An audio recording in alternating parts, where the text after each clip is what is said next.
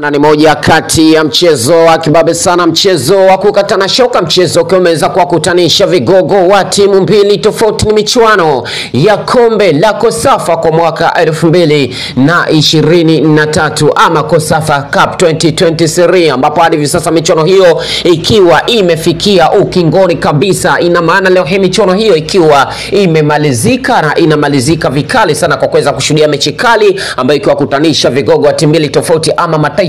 mawili tofauti leo hii akiwa yanapambana vikali sana, ambapo ikiwa ni fainali ya kibabe sana, mara baada ya kuweza kushuhudia michuano hiyo ilipoweza kufanikiwa kuanza kwa kasi kubwa sana, ambapo kwenye hatua ya makundi tumeweza kushuhudia, ambapo hadi hivi sasa imeweza kumalizika na kufikia kwenye hatua ya fainali ya kibabe sana, ambapo kila taifa limeweza kujiwekea malengo makubwa sana, ni kuweza kuchukua ubingwa hasa kwa mwaka huu wa 2023 kwenye michuano hiyo ya Kosafa. Je, ni taifa gani litafanikiwa kupata ushindi na kuweza kufanikiwa kuchukua ubingwa? Basi dakika 90 ndio mwamuzi wa mchezo, lakini hadi hivi sasa mchezo ukiwa kutanisha kati ya timu ya taifa la ya Lesotho dhidi ya timu ya taifa ya Zambia. Ni moja kati ya mechi za kibabe sana tukawa tunashuhudia. Basi mojawapo ni mechi hiyo ambayo ikiwa na ushindani mkubwa sana, kila taifa limeweza kujiandaa vikali zaidi ili kuweza kuhakikisha kwamba linapata matokeo mazuri na kuweza kupata kile kinachostahili ni kuweza kuchukua ubingwa hasa kwenye mchezo wa leo ama mechi ya leo ikiwa ni fainali ya kibabe sana ambapo michuano hiyo imeweza kufanikiwa kuchezeka pale nchini Afrika Kusini, ambapo hadi hivi sasa ikiwa inamalizika hapo, na kila taifa linafahamu kabisa kwamba leo hii kuna mechi kali ambayo ya kuweza kufuatiliwa. Basi mojawapo ni mechi hii ambayo tulikuwa tunashuhudia hasa kwenye bara letu la Afrika, na moja kwa moja mchezo umeweza kufanikiwa kuanza kwa kasi kubwa sana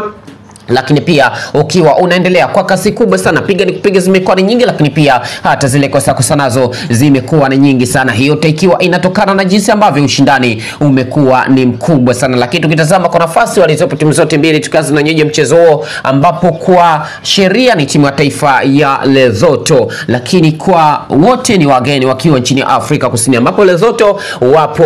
kwenye uh, nafasi mzuri sana. Tunaamini kwamba soka lao hadi hivi sasa kufikia kwenye hatua ya fainali si haba, wako vizuri na wameweza kujiandaa vikali zaidi, hasa kwa vijana wao hao, na hivyo basi leo hii wanachokihitaji ni kuweza kuhakikisha kwamba wanapata ushindi na kuweza kuchukua ubingwa. Lakini pia kwa upande wa timu ya taifa Zambia, ni moja kati ya mataifa ambayo tunaona kisoka hayapo kuzungumziwa sana, lakini taifa lao likiwa na vijana wenye uwezo mkubwa sana, hasa kwenye soka la Afrika, na hivyo basi ukitazama kabisa ni nafasi mzuri sana kuweza kuhakikisha kwamba wanapambana ili kuweza kufikia yale malengo ambayo wakiwa wameweza kujiwekea, na hii ni fainali ya Kosafa Cup kwa mwaka 2023. Asanteni kwa harni, bye.